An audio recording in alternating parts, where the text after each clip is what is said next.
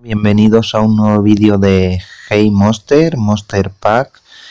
En esta ocasión vamos a ver las dos formas que hay de obtener los effort points que ya sabemos que sirven para mejorar los atributos de nuestros Pokémon. Voy a recordar brevemente la manera de mejorar, cómo se mejora los atributos de nuestros Pokémon con los effort points y vamos a ver las dos maneras de conseguir los puntos effort points.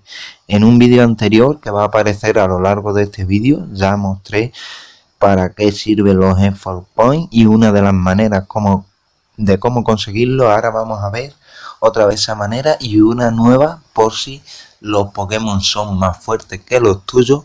Evitar el combate pero conseguir esos effort points. Primero vamos a ver para qué, dónde y para qué sirven los effort points. Aquí tenemos a nuestro Raichu, por ejemplo. Le damos a Training y estos son los effort points, ¿vale? Como veis yo le estoy subiendo el ataque especial y la velocidad de momento.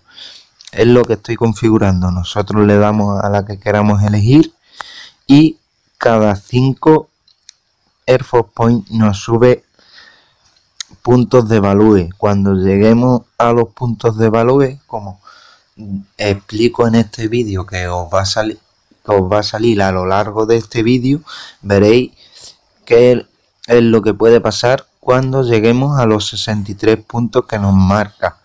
Y si le damos a obtener y le damos a mirar, nos dirán con detalle qué tipos de Pokémon nos da qué tipo de Air Force Point, ¿vale? Esto también está explicado en el vídeo que os aparecerá a lo largo de este vídeo la tarjeta, el enlace, ¿de acuerdo?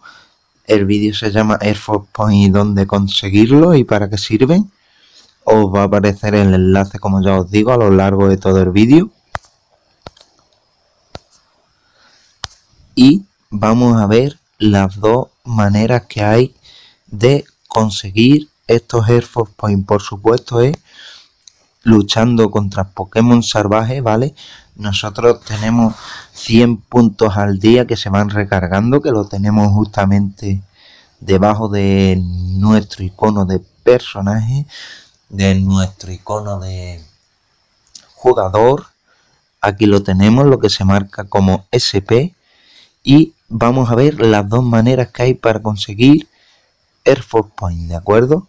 Vamos a ver la primera, que ya la vimos en el vídeo que como digo os aparecerá el enlace a lo largo de todo este vídeo. Es la única tarjeta que os va a aparecer en este vídeo para que no os liéis. La primera manera es esta, como todo el mundo sabe, matando un Pokémon, por ejemplo en este caso es tipo veneno y nos va a dar el effort point de defensa especial. Y la segunda manera que, como ya os digo, es para aquellos que no tengáis un Pokémon lo suficientemente fuerte como para vencer a un Pokémon de la ruta en la que os encontréis, lo único que necesitáis, el requisito que necesitáis es un Pokémon con rugido. Yo en este caso tengo Antei. Vamos a comprobar esta segunda forma. Vamos a esperar a que nos salga un Pokémon y vamos a ver la efectividad de esta segunda forma. Aquí nos sale un Snubbull y vamos, como veis aquí tenemos Entei con Roar, que es rugido, le vamos a dar, no vamos a duchar, no le vamos a hacer daño, pero sin embargo, como veis aquí, nos está dando el Effort Point, ¿de acuerdo? De ese Snubbull.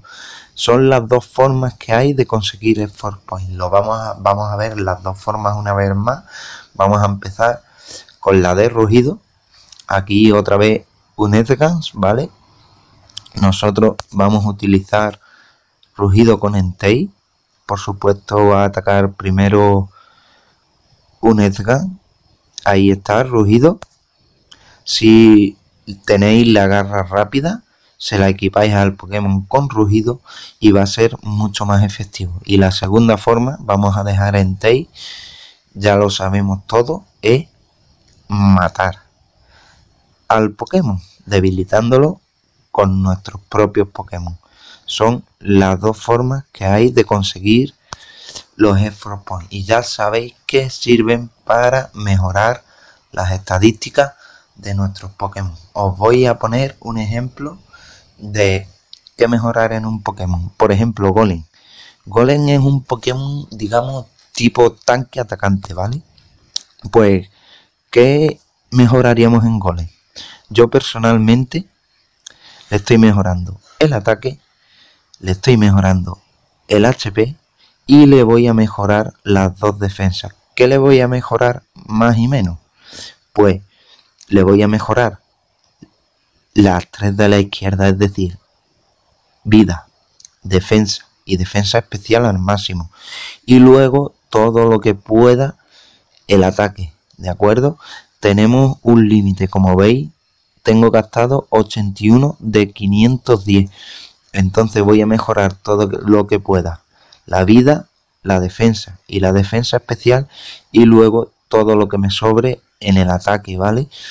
Para que sea un Pokémon tanque atacante y no le voy a dar ni un solo punto en ataque especial ni en velocidad, ya que Golem no utiliza ataques especiales y su velocidad en realidad no me interesa y tampoco es muy buena, como sabéis. Me interesa más que pueda defenderse o y que tenga vida y ataque. A lo mejor Golem ya en sí tiene bastante vida, entonces si queréis no le subáis la vida y subirle más el ataque. Esto ya es cuestión de gustos y de cada uno. Yo de momento voy a probar a subirle la vida, la defensa y la defensa especial y el ataque. Que veo que no me resulta, pues podemos hacer un reset nos va a devolver todo lo invertido, lo único que nos va a consumir 200 cristales, pero nos va a dar todos los effort points. Yo a lo mejor no invertiría los de la vida otra vez en golem y sí invertiría los de ataque y los de defensa, ¿vale? Que el juego nos da la opción de corregir por si nos equivocamos. Por supuesto, para aplicar los effort points debemos tener claro hacia dónde queremos orientar a nuestro Pokémon. Yo en este caso Golem, como os digo, lo quiero orientar a tipo tanque atacante. Entonces, lo más importante en sí, a lo mejor la vida no, sería la defensa, la defensa especial y el ataque. Pero también le estoy subiendo algo la vida para que dure a lo mejor un turno más, un ataque más. Pero eso ya depende de cada uno. Bien, pues con esta explicación de las dos formas de conseguir los Airforce Points más un ejemplo de cómo aplicarlos con mi golem, por ejemplo, doy por terminado el vídeo de hoy de Hey Monster. Nos vemos en el próximo vídeo.